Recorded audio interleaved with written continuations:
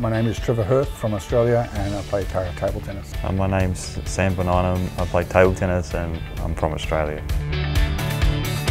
I feel like the spirits are pretty good. I think we're feeling pretty confident. Everyone seems pretty keen. We've got a big team of 12 in table tennis. We had a big training session this morning and everyone's keen to find out the draw later today and then uh, the action starts on day one. We have all our physio, doctors, nutrition services at our fingertips. Like we are really well prepared, well looked after and that adds a lot of confidence I think. Uh, having a big team, having a lot of support. Uh, we have fairly high chance of getting you know three or four medals and there's potential to get even more.